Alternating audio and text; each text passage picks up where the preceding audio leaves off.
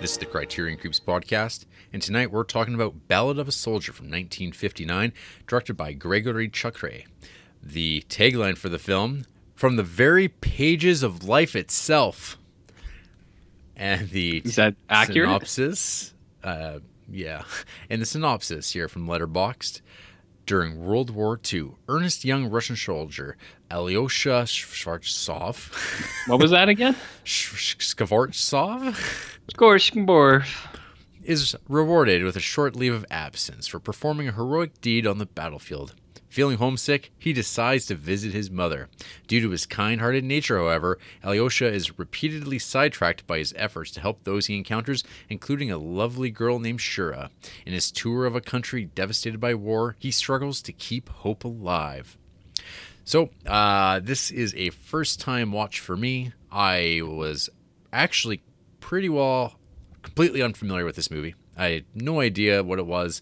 Uh, but when I read the synopsis, getting ready for watching it, I was like, wait a minute. Are you kidding me? Within like, what, a couple of movies, uh, cranes are flying to this. We got two movies covering like essentially the same type of story. That's weird. Um, It's almost intentional. almost intentional. In fact, I uh, when I was reading about Ballad of a Soldier, I guess it um, cranes are flying, and this other one called like uh, the Fate of Man or Fate of a Man. Uh, they're part of like this like kind of cultural exchange in the '60s of like uh, Russian cinema with American when they were like on better terms during um, the the Khrushchev years. Um, and yeah, so both these movies, I guess, are kind of presenting this humanist view of uh, the faceless Russian menace, I guess, and saying, "Hey, we're people just like you, and here's like examples of our cinema demonstrating that, uh, showing that hey, World War II sucked for everybody." So yeah, uh, Ballad of a Soldier. Uh, it's kind of like the flip side of the cranes are flying, I guess, because instead of like kind of seeing specifically the uh, what the war was like at home, this is like the on the on the war front, like at the On the go. on the go and then like kind of the the march back which i guess kind of falls into kind of the one of the more notable aspects of world war ii and russia's side which was like the push back that they got uh, as germany pushed pushed pushed and pushed them all the way to the edge and then they've had to fall back because you don't mess with russia in winter um, and so this is kind of like Don't mess with Russia all year round, baby. all year round uh, hmm yeah so Okay, you- keep going. yeah, yeah. Uh, you have uh, yeah, Alyosha, who you get this like really tense uh, opening scene of him out on. Actually, so it actually doesn't open up there. It opens up with these like beautiful, like uh, picturesque images of a mother waiting in a like field looking at this like empty country road waiting for her son to return to her. A narrator informs us that um, that she's like waiting for her son and he'll and she'll never see him again and stuff like that. And you're like oh well this is going to be some grim business. And um and then we get cut to like the battlefield, and uh, Alyosha and uh, a comrade they're uh, they're in the trenches, uh, facing off against those legendary uh, German tanks that mess you up, and they're very hard to take down. And uh, they're under fire. He starts running as you any sane person would do when being chased down, literally chased down by a tank, uh, which is like a, a fantastic scene. Like I was like trying to think about movies that I've seen that have like that same imagery, and like it really come across that way where it's like whoa, and it's like they're almost sadistically chasing him down too, because they could like dispatch him if they wanted, but they're like no, we're gonna run this guy down. But he's able to uh, get into a position with just the right shot and take this thing down uh, from con- continuing after him. And then he not only does that, he, he uh, pulls it again, shoots up another tank with a, I guess like an anti-tank gun. And Uh, that's not a real thing. I, yeah, I, I believe it is. That's a pretty powerful uh, rifle he was using. Yeah, but this is sci-fi. Oh, the, the fictional World War II with Yeah. the Russians. I see. So, um, yeah, so we get this scene where it's like, oh, yeah, he, and then uh, they're able to like, he's able to turn back these two tanks, and then the barrage hits and then chases off the other tanks. Uh, he's something of a hero. And uh, he's like, oh, hey, good, great job. And he's like, oh, hey, instead of like, I can't remember what he's initially offered by his commanding officer.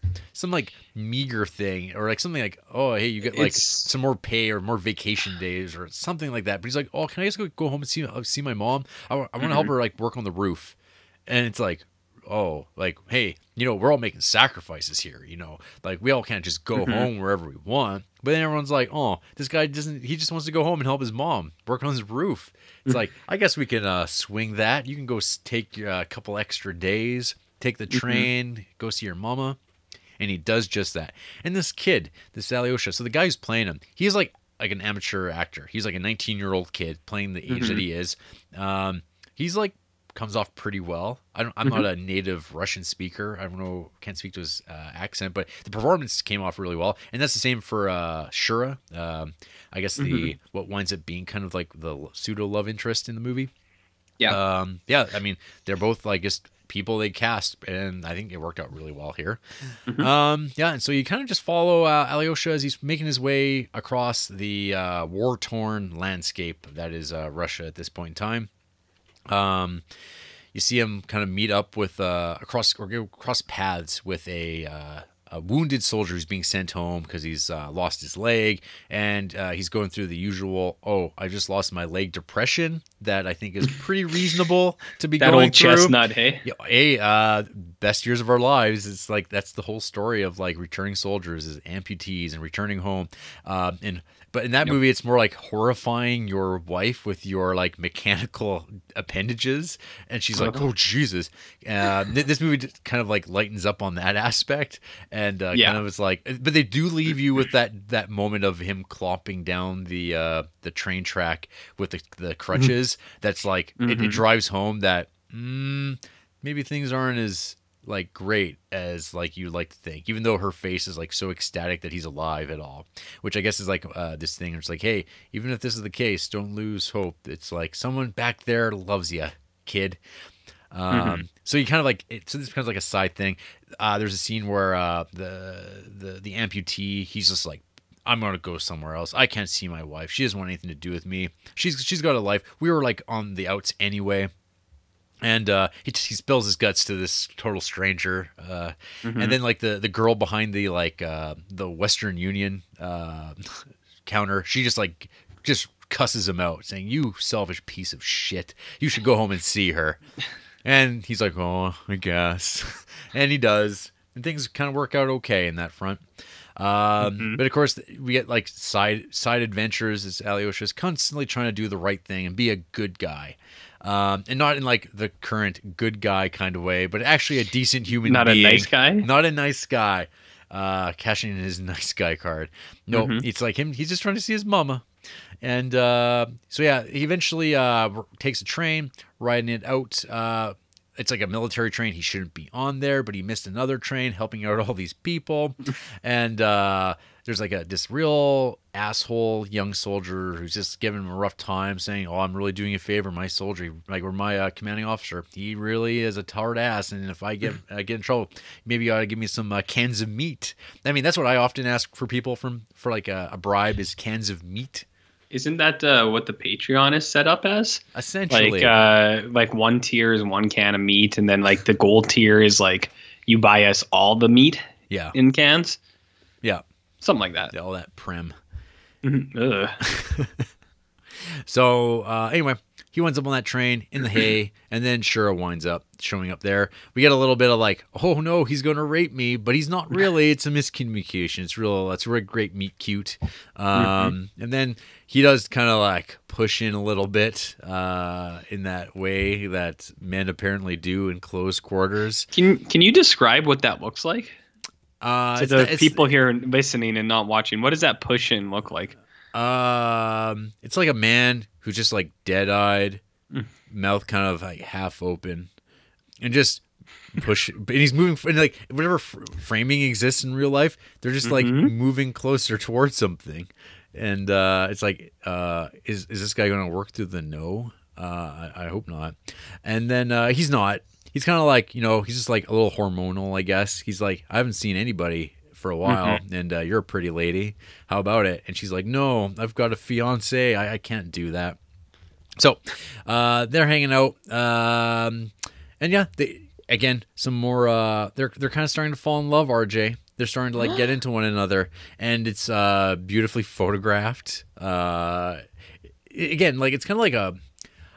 It's it's not it's no cranes or flying as far as like that like incredible cinematography that's just like knock your socks off like wow this looks amazing, uh, but this movie's got some like some amazing sh- shots and some very great uh, some very nice photography going on and it's just like I don't know. I think this movie is really good. Um, it, I think it's ridiculous how underseen it is, but I'm not surprised because I mean, if we weren't doing this podcast, neither of us were watching Ballad of a Soldier. Um, and I don't know. It's just because it's like, oh, it's it's 1959 Russian cinema, and I don't know. It's just like not like on the top of anybody's list, but it's like unmistakably like un, inarguably a really great movie, um, and should be seen by more people. Uh, and yeah, I'm really glad I got to watch it because I think more people should check it out. Um, I don't know. Hey, hey, RJ, what, what did you think of Ballad of a Soldier? Um, I uh, I don't have any fun jokes for you, Jarrett. No. I thought I had some. Uh, I didn't. I uh, I opened my book when we sat down here, and I only had two notes, and I was like, "Uh oh." I was like, "Did I not finish that movie?" Because I was like, "Did I forget?" But I think it was what you were talking earlier. It was like time went by pretty fast when you even had to check. You're like, "Oh shit, did I watch the movie this week?" And uh, I don't think that's a knock against this movie. Uh, a lot of times when we don't take notes, it's usually because we enjoy the movies. Uh, and I did enjoy Ballad of a Soldier. Sometimes when we have too many notes, Jarrett, it's because we didn't like the movie. You know what I mean? Well, sometimes some well, it's uh it swings both ways. Yeah, just like us. Uh, so yeah, uh, this movie was I thought it was pretty good. Um, it's kind of just to like echo chamber what you said a little bit. Uh, it's got good cinematography. Uh, there's some there are a few real nice shots. Uh, there's not like I don't think there's anything like that's great that really stands out. Like crane, cranes are flying had a couple of those like those anti tank spikes and like some of those she- scenes I was like yeah. Uh, and this one had a couple really good ones, but nothing There's, that like there's that one though. There, it's like the uh, the whole buildup of them like kind of falling in love, and like her hair, like her Mm. like her golden hair in the train, like they're kind of getting closer, but they never kiss. You never get that like the the makeout scene that. uh But so Mm. yeah, you like, would want the makeout scene. No, I, I don't want the makeout scene because it's just Mm. is like, oh, it's that. But they don't never show it. They just build up to it of them like getting closer to one another, and uh, Mm-hmm. they, they don't go down that route. I actually, I kind of really liked the scenes with the mom at the very start, just kind of like waiting on the roads and the cliffs. I thought those were pretty nice, uh, very well shot scenes. And uh, the other thing that I like too is, um, like this one shows a little bit of like, like, and by a little bit, I mean like one minute of like war scenes, action with the tanks. I thought some of that was kind of cool. You have that nifty little scene where like the camera goes inverted when he's running away from the tank and it follows him, but then the camera like flips up and he's like running up the screen. You know what I mean? Yep. So that's a, a fancy little trick. Uh, but yeah, it's got good cinematography. Uh, I kind of liked how casual this movie was.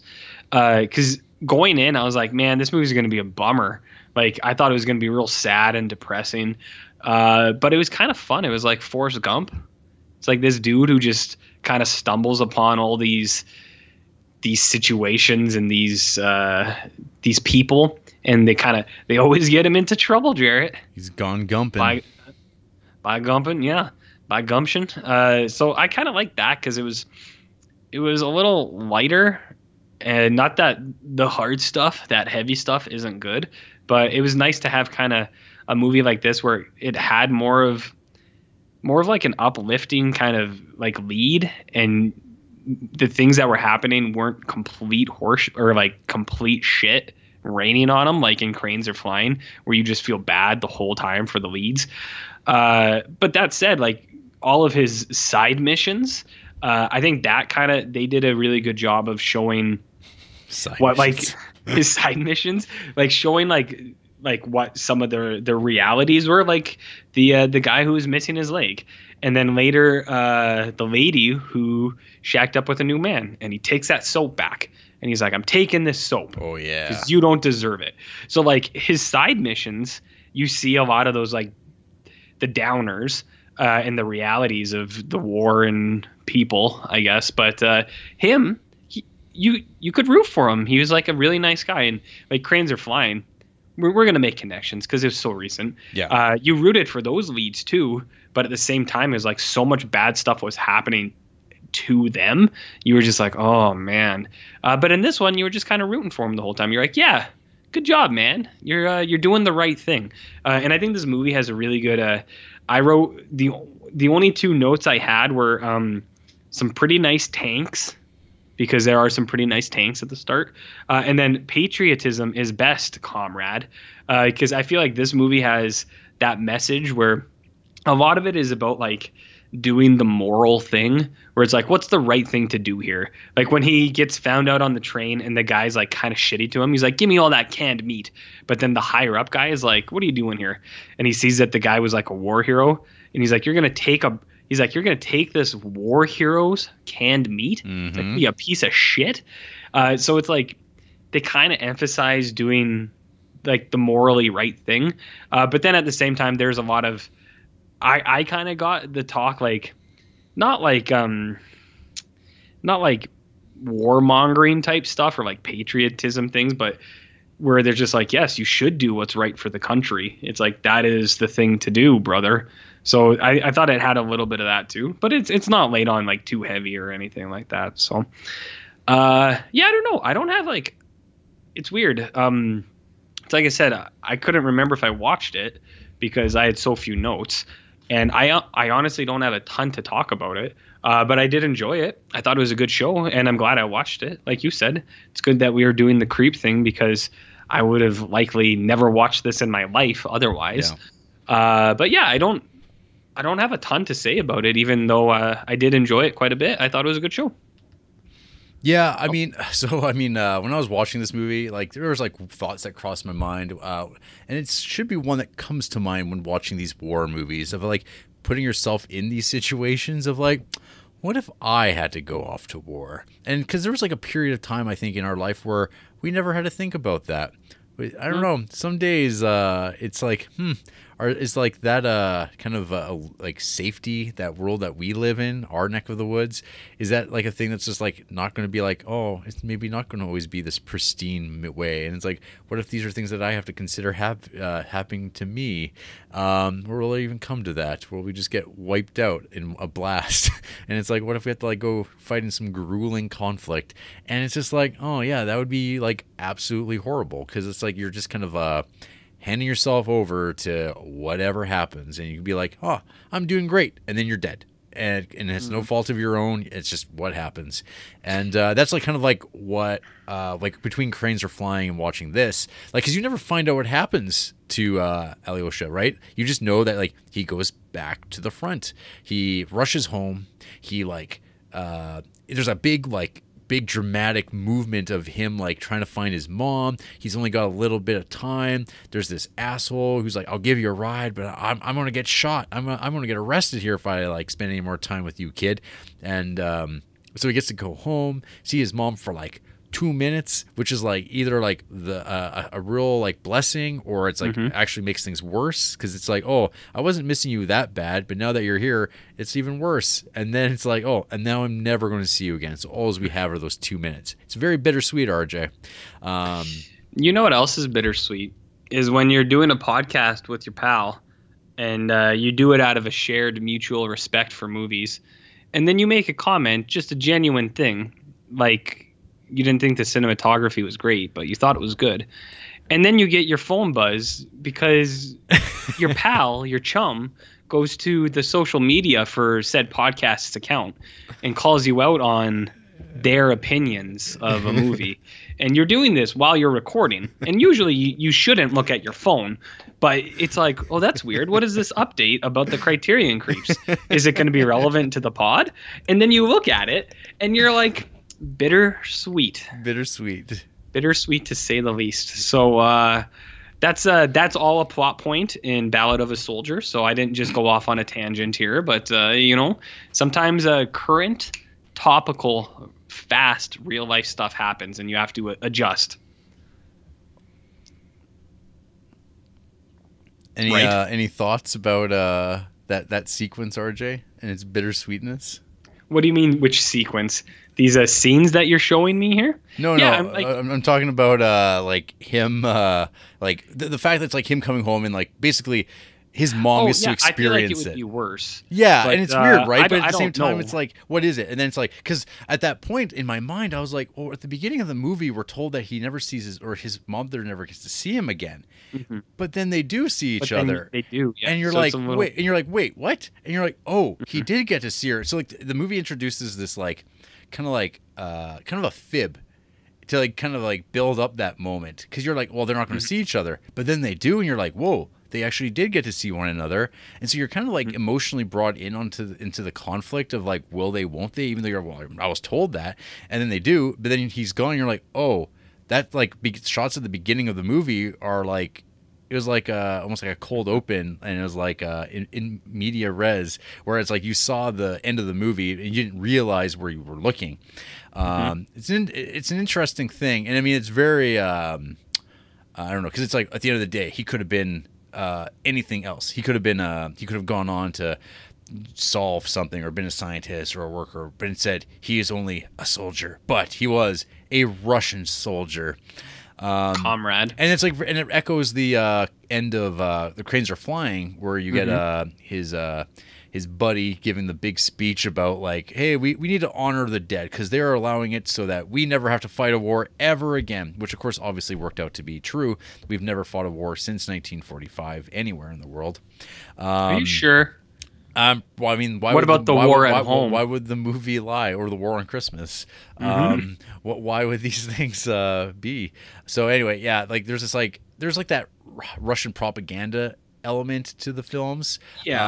uh, which are fine, I guess, because like everyone was making these movies and uh, had these same ideas, and like these movies like i think are both examples that there's a little bit more freedom in making these films because of like their expression to them. And like you, you don't know if necessarily the writers and directors were like totally on board with these sentiments. They were just kind of like hey we're going to throw those in because that's they're supposed to be rousing kind of films but they're going to have this like layer of humanity to them uh that like kind of says well we don't net we, we, we're still talking about like how awful it is to like for for for the human conditions side that uh yeah, war's horrible and it ends lives and it's like not fair, but hey, lots of people's lives are on the line. And so the other thing too is like, um, thing again, back to cranes are flying is you get the thing of like the, the worst thing that you could do in this society during war is to be a hussy, to be a woman. Because that that's one of the other stories, that, uh, one of the side stories I, I forgot to mention uh, in uh, kind of my recap summary is uh, on his way to catch the train, he kind of gets like his jeep gets stuck in like a, a bog of water, and some soldiers are walking by, and the guy's like, "Hey, where are you going?" Oh, hey, yeah, yeah. Tell my wife uh, that I love her. I, oh, I I think about her every night. Oh, hey, get her, get her, get her some soap. Yeah, get her some meat and some soap from like uh, the CO. Oh, I'm like, oh, okay, fine. So he hauls this stuff. He takes a special trip off uh, the beaten path to like go to make make good on his word, which is like crazy. Because like when I watch that scene, I'm always like, you know, I tell people I'm going to do things, and I fully intend never to do it. And but like when I watch these movies. Finally admitted it. But when I watch movies where they're like, I'm gonna do this, And I go, are they really? Like, why don't you just like, why don't you just blow them off and say, yeah, yeah, yeah, sure, dude, and then like later on go, yeah, sorry, man, I, I was too busy, I had to catch a train and be somewhere, because that's what most people do nowadays. But in these one, I kind of like idyllic, kind of sentimental movies, you're like, oh no, he actually went and like took time out of his schedule to go do this thing that like gets him no net benefit. It's just like, no, that's the right thing to do because it's old times, uh, and not cynical hatred for my fellow neighbor times. Um, and yeah, you get the big reveal of like, oh, hey, she's uh shacked up and uh, is living pretty comfortably and kind of moved on beyond that. And uh, so I was watching this with Chanel at the time, and she was kind of like, well, it's kind of bullshit to be like kind of that kind of weird slut shaming thing of like, because it's like she's in a really horrible situation too, where it's like, who's looking after her? And I'm like, well, that's the thing with the, the attitude between this and Cranes Are Flying is that it's like, hey, we're all in this together. We all got to make sacrifices. We can't be just thinking about like, oh, how am I going to eat? It's like, hey, we're all thinking about that. And sure enough, it's like if you trust your fellow countrymen, they'll take care of you. You don't need to go like uh, bang some other dude just because your main squeeze isn't around, um, and just because you want to like you know have a little bit of shelter or food. And so, Ballad of Soldier, it kind of like shows, hey, this lady's like no good and like that's it beats you down with that cranes are flying though you get the flip side where it's like well she kind of didn't get, pick this situation on her own. She kind of you know was raped. And uh so it's like a completely different thing but that sentiment like there's a scene where like um the doctor father he's like giving that big speech about just like how horrible some women are who like would go behind and stuff like that. It's like she's not even worth your time. You're soldiers and like you're gonna like oh you're gonna do great and you're doing a great thing and these women they're not even worth it. I spit on them. They're, they're worse than scum. And so both movies kind of like handle it uh in this kind of similar but different way uh, It's almost uh, unfortunate that these movies weren't back to back because, like, I mean, there's an obvious like compare contrast uh, between the two. Well, it's it's funny that you say that where it's like the person gets put in a bad position and then they kind of get piled on where it's like, yeah, you're the bad one.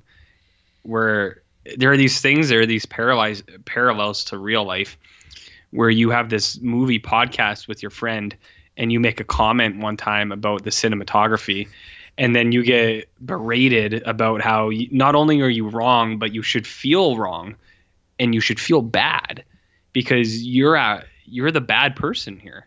Like your loved one went off. You made that comment on the podcast. You were the wrong one. Do you understand jarrett? Do you understand what i'm talking about here? Your best friend liked it. well, he probably understands. And when he hears this podcast tomorrow, he'll know what's going on. I just thought I should say that. But yes, I agree uh, with a lot of the things you were saying. And these should have been double headers because there are many parallels to each other and things to com- compare. Because Cranes Are Flying was sad and a bummer. And Ballad of the Soldier was a little bit nicer. It was a nicer movie. Like me. These movies are perfect and out like perfect things for you and me. There's a real nice version that's like kind of sweet and you're you're rooting for, and then there's this one version that just like shits all over you and then forces itself upon other people at all the at every opportunity. uh, so war, man. no man. What is it good for? Mm-hmm. So uh, yeah. Uh, by the way, I thought this movie was good, Yeah. regardless of uh, any conversations we've had that are now recorded for history. That's right. But uh, yeah, this is a this is a pretty good show. it's pretty good. Pretty good show. But you know what, RJ? Yep. There's some people who dislike this movie. I won't say hate. Just dislike. I think it's just because so few, few people have really seen it. Even though it's like 2.2 thousand or whatever. Yeah. 20, 2,200 people have logged it. But Mm. some two and a half stars coming our way. Pink Sheets. Two and a half stars. Executed mostly fine, aside from some iffy editing at points. It does well by its theme, even if that theme is not particularly original. This film simply evoked nothing in me. Perhaps I am just not as receptive as I should be, but at no point was I slightly captivated, unfortunately. Hmm, unfortunate. Their originality. Uh, they have a lot of Star Wars movies in their top five, but also so they got like some movies that are pretty good. Harakiri, I think you talked about uh, liking. Twin Peaks. You got Rosemary's Baby, Sunset Boulevard, Mulholland Drive. But here's the thing, Jarrett. Five stars to Inland Empire, the unanimous worst David Lynch movie of all time. So that's a bad one. Yeah. Ugh. Evan Douglas, two and a half half stars. Boilerplate propaganda, but who can't get at least a little choked up at a mother son reunion? Hmm. This uh, Evan Douglas is a unique fellow or fellow lady. I don't know what that one is. Uh, they got some favorite films like Seven Sam and The Master. Uh, they also have this movie called Satantango. Yeah. Satantango. Yeah. Uh, that's come up before on this. Uh, I think this Evan Douglas may be a fan of our show they have five stars to Le Trou. Uh, they have five stars to Roar, uh, our favorite Mayan enthusiastic movie. Uh, but then they have five stars to like Shock Corridor. That movie's not a five star movie, Nah. but lots of criterions. No. Lots of criterions. Well, hi Evan, if you're listening. If you're listening. Uh, Derp Zerplin. Ooh, could you say that again? Derp Zerplin. Nice. Two and a half stars. A movie in which a sentient moral compass dressed as a Russian soldier runs some errands for some people. I'm sure this movie was objectively very good. What do you mean ob- objectively? Like they're like, Well, "It's I, I, I, good, I can't. just I, well, like do you want me to answer for Derp? yes. Um, I guess what uh, Derp is saying is that they can acknowledge that this movie is probably like objectively a very good movie. They Mm-hmm. just didn't. It didn't work for them. I think is what they're getting at. Which is like, you know what? That's fair. That that's a two and a half star review. Uh, I, I don't mind that. It's those it's those like half star, one star reviews where they Mm-hmm. express the exact same thing, but you're like, I don't think you really understand how uh, this- Stars this- go. how how like how one qu- attempts to like quantify their enjoyment of a film. Mhm. But uh, yeah, Yeah, Derp Zerplin's uh, pretty much on the level. Glengarry Glen Lo- Ross, five stars. Uh, Green Room, five stars. However, they did just give Baby Driver four stars. Mm, Mm, hmm. mm. Well, there you go. Yeah, not too much vitriol. Not very many people watch this, and uh, Yeah. yeah, like I said, like very few people uh, I follow have watched it either. So Mm-hmm. I don't know. People should change that around. I mean, yeah, I don't know. It's a it's a very good movie. Are you into Pretty ver- good. Are you into good movies? Ballad of the Soldiers not a bad way to go. Are you into good shows that have good cinematography, but not maybe not great? Allegedly. Mm-hmm. Allegedly. Yeah, it's it's pretty good. I mean, for Russian uh, propaganda propaganda war movies, it's up there with some of the best. Yep, propaganda. Yeah, it's a good. Yep. It's uh, but I mean at the same time, it's like oh, it's propaganda because it's like Russian. And it's like well, I don't know. No, it's well, it's yeah, like yeah, I was I know, saying yeah. before. It, it, it's mostly like the message they mostly get across. It's like do the moral thing, and then it's like sometimes they connect it to like nationalism, but like yeah, yeah. it's it's not it's not that heavy handed. It's No. mostly just hey, don't be an asshole. I, I think Do most, the right thing. I, I think it's a message that goes beyond national borders because they, Yeah. they, don't even drop a lot of uh, like Sovietisms that I was aware of anyway. It doesn't seem like super like oh it's for the greater good because it's like well most like war efforts are fought on this idea of Yeah. like the greater good regard like whatever nation you're in. Mm-hmm. It kind of like hey. Do you like your way of life? Do you do you want to be uh, controlled by the the German dogs? Mm. um, yeah, and it's like, well, no one no one wants to be conquered. Um, but then some people wind up doing it. I mean, uh, both of us are descendants of conquered people, and most people are coming from that at some point in their life. I don't know what you're talking about. Always keep going. Anyways, yeah. So there you go. Yeah. Well, I think we're in agreement. There you go. Mm-hmm. Can't turn back time. Not today, at least. Yeah. But you can definitely shame people publicly for making comments and then be shown the way of the light. Mm, you might come to the. It's, it's like cinematography, you know, RJ. It's like sculpting with light. Some say Ugh. photography, you know. Oh, Jarrett. After the break, we prepare to die for our country.